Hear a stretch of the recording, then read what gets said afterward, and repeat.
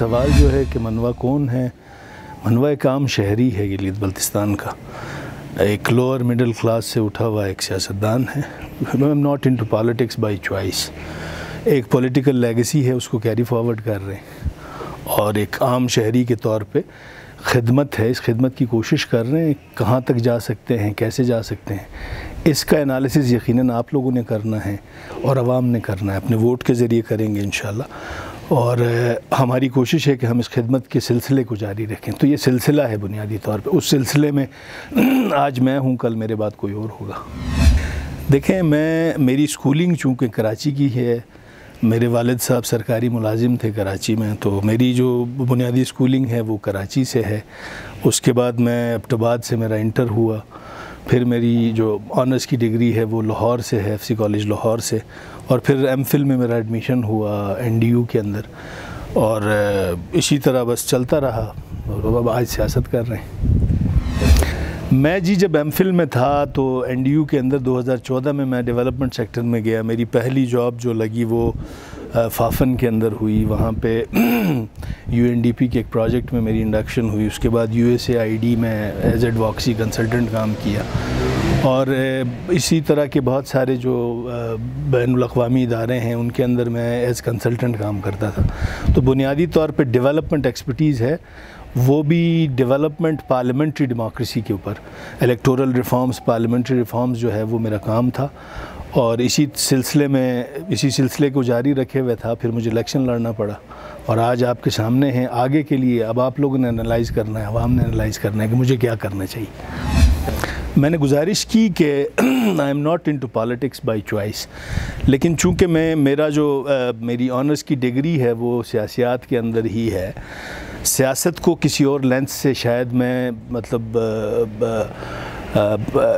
Bill वास्ता या बिला वास्ता ताल्लुक़ सियासत से ज़रूर रहना था। लेकिन जहाँ तक इलेक्टोरल सियासत की बात है इट्स टू अर्ली कि मैं सियासत में आया। वो मैंने कहा आपको कि untimely demise of my uncle dragged me into politics और उस पॉलिटिकल लेगेसी को कैरी फॉरवर्ड करने के लिए शायद थोड़ा पहले आया। अदरवाइज़ करनी हमने सियासत ही थी। देखें, जहाँ तक बात है सियासी ज़िंदगी की और जो निजी ज़िंदगी है, वो यकीनन जब आपके ऊपर से घराने की छतरी उतरे और सियासी तौर पे भी आपका कायद आपसे बिछड़ जाए तो उसके बाद निजी तौर पे भी, सियासी तौर पे भी मुश्किल ज़रूर थी। लेकिन जो तरबियत और तालीम सियासी तौर पे और निजी तौर पे मिर्ज़ा साहब से सीखने को मिला, मैंने उनको चार साल एज़ पॉलिटिकल सेक्रेटरी असिस्ट किया और उनका साथ रहा, उनसे सब कुछ सीखा। तो यकीनन उन तमाम मुश्किल को, आल जो ऑर्ड्स थी, उनको पैराडॉक्सिकली अपनी स्ट्रेंथ बनाई। ना सिर्फ़ जावेद मनवा, बल्कि नगर के अंदर जितने मिर्ज़ा साहब के सियासी शागिर्द हैं, नगर के अंदर जितने उनके सपोर्टर्स हैं वोटर्स हैं, वो एक फ़ैमिली की तरह है। तो हम सारी फैमिली के लिए यकीनन उनका विसाल, उनका जो इंतकाल था, वो एक सदमा था। लेकिन हम कोशिश कर रहे हैं कि वो सियासी जहद जारी रहे। हम कोशिश कर रहे हैं कि उनकी वो डेवलपमेंट का जो एक सिलसिला था, तसलसल जो है वो जारी रखने की कोशिश में है। इसमें सिर्फ़ इनफरादी तौर पर जावेद मनवा नहीं है, बल्कि उस तहरीक का हर कारकुन, मिर्ज़ा साहब की वो तहरीक जो थी, वो अब हमारा एक दूर अफ्तादा इलाका है, उस इलाके में बहुत सारे मसाइल थे। तो उसमें कमी के लिए उस तहरीक का हर कारकुन जावेद मना मनवा है। देखें हमने आपको बताया कि हम तहरीक इंसाफ में भी जो है वो मिर्ज़ा साहब ने 2014 के अंदर नहीं बल्कि 2015 में फरवरी चार फरवरी 2015 को मिर्ज़ा साहब वा, वाहिद जो स्टार वॉल्ट थे गिलगित बल्तिस्तान की बड़ी शख्सियत जो सियासी तौर पे जो कि मेंबर असम्बली रहे थे उन्होंने ज्वाइन की थी। हम उनके साथ उनके रफ़ा थे। हम पार्टी में शामिल हुए थे 2015 के अंदर। पंद्रह के इलेक्शन के बाद मिर्ज़ा साहब का विसाल हुआ, मिर्ज़ा साहब के इंतकाल के बाद हम उस पार्टी में रहे, हमने कंट्रीब्यूट किया उस पार्टी के लिए। जहाँ तक बात है कि इंडिपेंडेंट कैंडिडेट की हैसियत से इलेक्शन जीतने के बाद क्यों ज्वाइन किया, उसमें, उस वक्त की जो हमारी कोर कमेटी थी मैंने मेरे से मेरे ख़्याल में आप ही के तवसत से हमने एक चैनल पे पहले भी बात की थी कि हम डेवलपमेंट ओरिएंटेड सियासत करने वाले लोग हैं और ट्रेजरी बेंचेस पे उस वक्त बैठना जो था गिलगित बल्तिस्तान की तरक्की के लिए और अपने हलके की तरक्की के लिए और मशावरत जो हुई थी उसके अंदर हमें जो हमारी कोर कमेटी थी उन्होंने रिकमेंड किया था कि हम हुकूमत ज्वाइन करें। तो उस वजह से हमने पाकिस्तान तहरीक इंसाफ दोबारा ज्वाइन की। देखिए, मैं गुजारिश करूँ कि मैं बाज़ दफ़ा फ़ॉरम्स पे भी बता चुका हूँ कि पाकिस्तान तहरीक इंसाफ को छोड़ने की बुनियादी तीन चार वजूहत हैं। पहली वजह जो है वो ये है कि जो एक सिस्टम है पाकिस्तान के अंदर जो पॉलिटिकल सिस्टम है पॉलिटिकल इस निज़ाम के अंदर यकीनन हमने सरवाइव करना होता है, एक एज़ पॉलिटिकल एक्टर या एज़ पॉलिटिकल फ़िगर हम अगर अपने हल्का स्पेसिफ़िक देखें तो पाकिस्तान तहरीक इंसाफ और जमातें अलाइंस में हैं। हमने पाँच साल 2015 से लेकर 2020 तक कोशिश की कि उस पार्टी को ना सिर्फ़ डिस्ट्रिक्ट में बल्कि गिलगित बल्तिस्तान में भी हम उसको आगे लेके जाने के लिए कंट्रीब्यूट कर सकें। तो by the end of the day 2020 के इंतबात के अंदर पहला नतीजा देखने को मिला कि उस पार्टी के अंदर जो है कोशिश हुई और हमने, हमारी तमाम कोशिशों के बावजूद जो है, वो नतीजा, वो सिला नज़र नहीं आया, समर नज़र नहीं आया। अब आगे भी हमें, हमारे कारकुनों के साथ हमारा रबता है तो उसमें भी आगे भी चूँकि उस अलाइंस के तनाजुर में हम ये देख रहे थे कि कोई मुमकिन हो नहीं पा रहा था, जिस तरह की जो सेटलमेंट एडजस्टमेंट वो मुमकिन नहीं नज़र आ रही थी। एक चीज़ और दूसरी चीज़, जब हमने दोबारा देखा कि पार्टी के अंदर जो है वो political decision making inclusive approach के साथ नहीं हो रही है तो जहाँ इंक्लूसिविटी ना हो, जहाँ पे मुतफरक ख्यालात को समोने का जो है वो जिगरा ना हो तो वहाँ बैठ के आप वैसे ही अपने आप को एक्सक्लूडेड फ्रॉम द काउंट तस्वुर करते हैं। तो अपने आप को एक्सक्लूडेड फ्रॉम द काउंट तस्वुर करने से बेहतर है कि आप वहाँ से राहें जुदा कर लें। दूसरी चीज़ नेशनल लेवल के ऊपर जो नैरेटिव एक मुतशद नैरेटिव जो है उसको परवान चढ़ाने की कोशिश हुई।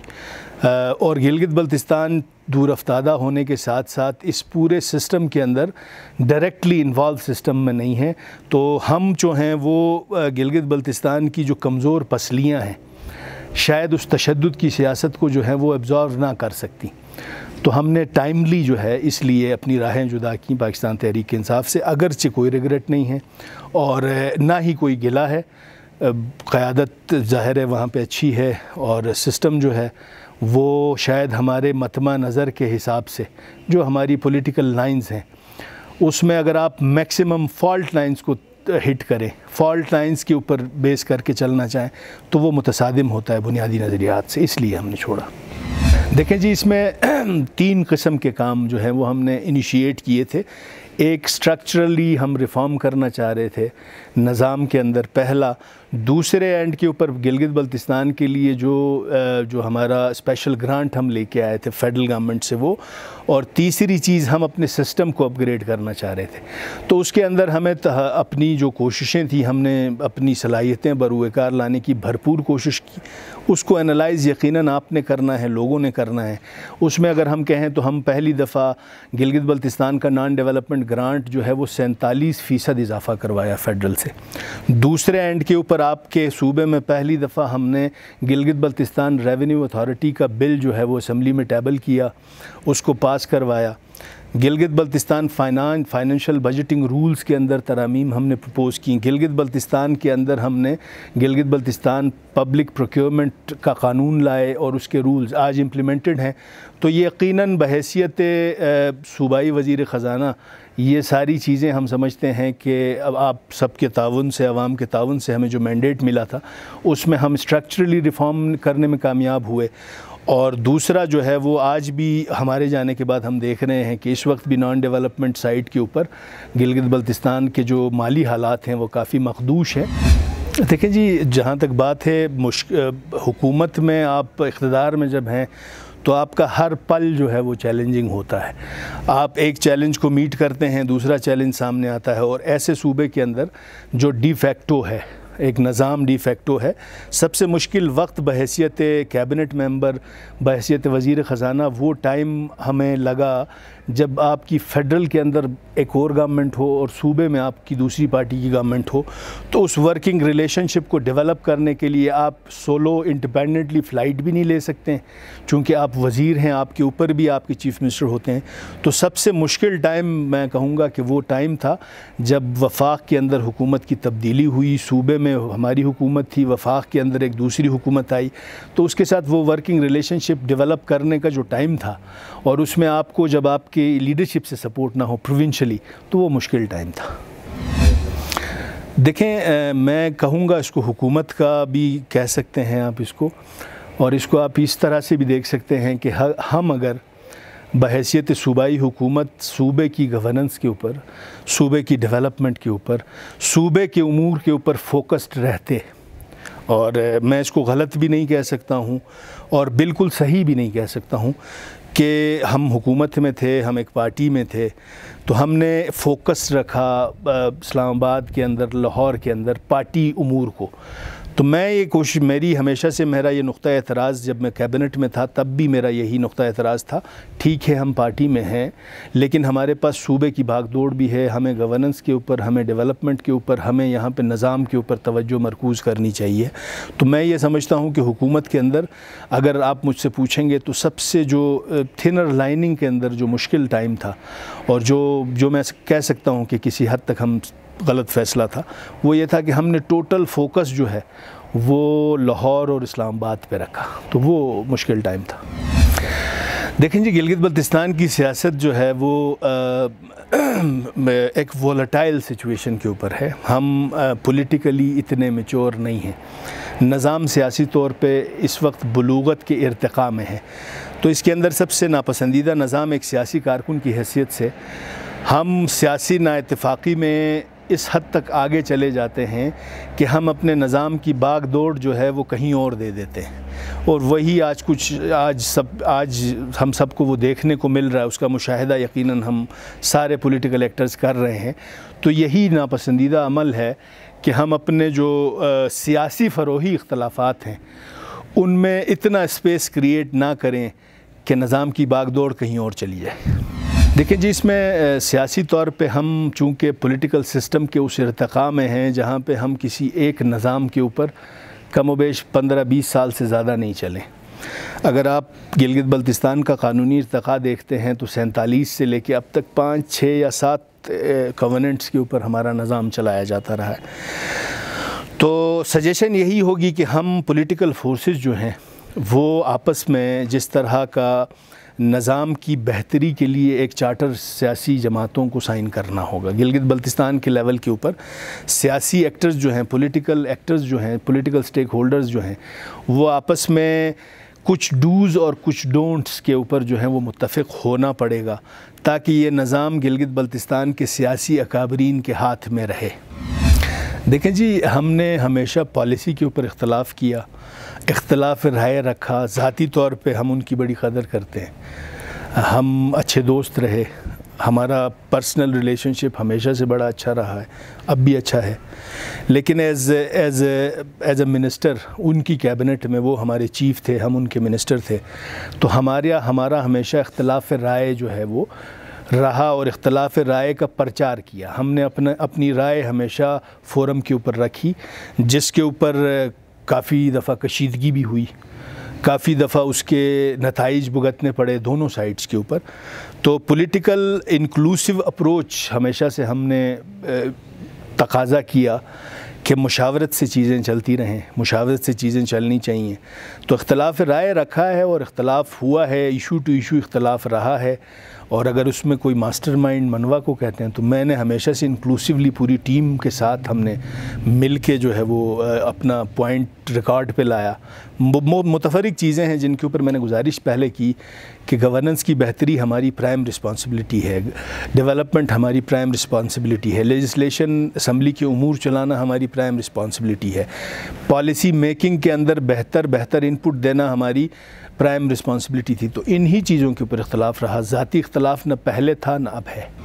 देखें जी, सियासी अमल जो है वो जारी रहता है। इस सियासी अमल के अंदर, हम अभी मशावरत के अमल में हैं।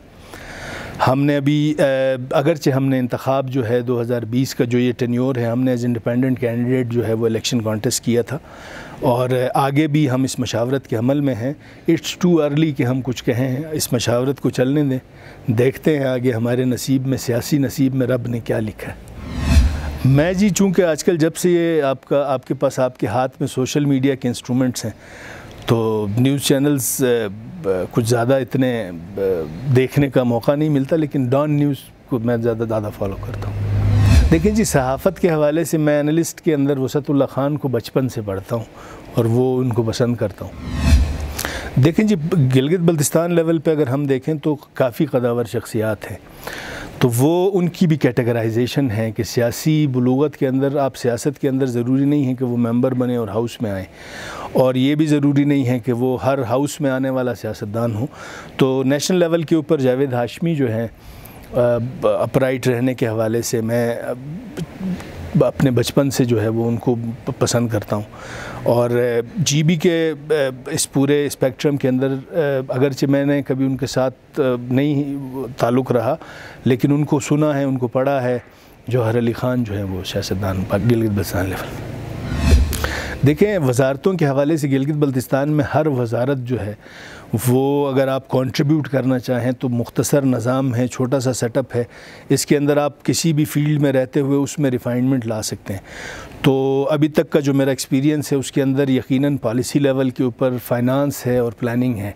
ये दोनों महकमे जो हैं, आपकी स्टीयर हेड करते हैं आपके निज़ाम को। तो ये दोनों, अभी भी इन दोनों डिपार्टमेंट्स के अंदर काफ़ी बेहतरी जो है, वो रिक्वायर्ड है। तो मौका मिला अल्लाह ने तो इन दोनों में यही दोनों मेरे जो है वो पोर्टफोलियोज़ रहेंगे।